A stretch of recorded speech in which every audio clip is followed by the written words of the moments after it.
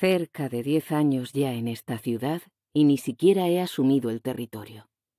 Sería más correcto admitir que el territorio, la actividad enloquecida de Éfeso, no me ha asumido a mí. No tiene a estas alturas demasiada importancia.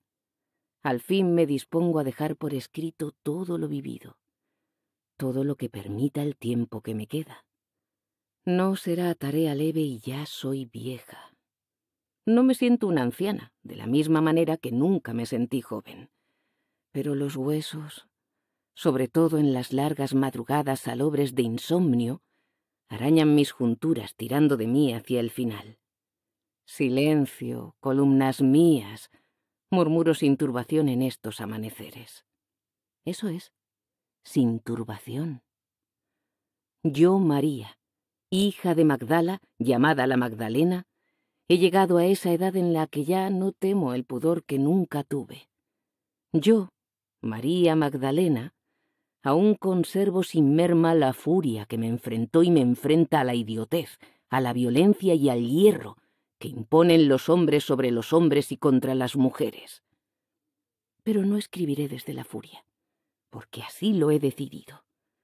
Me he propuesto hacerlo como el ave que teje un nido, minuciosamente, con amor y hacia el futuro. El nido que yo no he de ocupar, sino quienes requieran abrigo. Sí, soy vieja. Demasiado he vivido ya. No importa qué edad tengo. Sé que no tardaré en morir.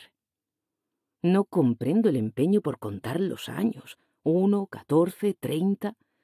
Deben contarse los sucesos, los tiempos de dolor y los tiempos de gloria, los tiempos de amor y los tiempos de violencia, la belleza y la infamia contempladas. La vida no es un recuento de fechas, sino memoria de emociones y acontecimientos, aprendizajes y claudicaciones. ¿Qué conseguiría yo dejando un inventario de años tras años? En un año caben enteros futuro y pasado. He tenido la inmensa fortuna de conocer la luz que emana de los cuerpos y de la ciencia. Entre tanta iniquidad, tanta crueldad vana y mutilación contra la tierra, yo, María Magdalena, he conocido. Y en ese conocimiento aquello que soy permanecerá por los siglos, porque ningún conocimiento es fútil. Mi decisión de dejar constancia aquí de lo visto, de los extraordinarios sucesos que me fueron regalados sin más mérito por mi parte que la presencia, es firme. Mucho más firme a medida que voy conociendo las voces y rebuznos empeñados en falsear lo sucedido, apropiarse de la realidad de lo que aconteció y modificarla hasta el tamaño de su propio cuerpo, recortar la realidad a su medida. Lamentablemente, eso también se llama memoria, una memoria falseada de la que sacar rentas. Me llegan escritos, leyendas, mentiras que solo buscan ensuciar aquello que vivimos junto a aquel a quien hoy llaman el maestro, los mismos que entonces lo repudiaron, lo traicionaron. Sacar provecho, eso quieren. Enriquecerse, acumular poder, saciar su vanidad. O sencillamente salvarse ante sí mismos.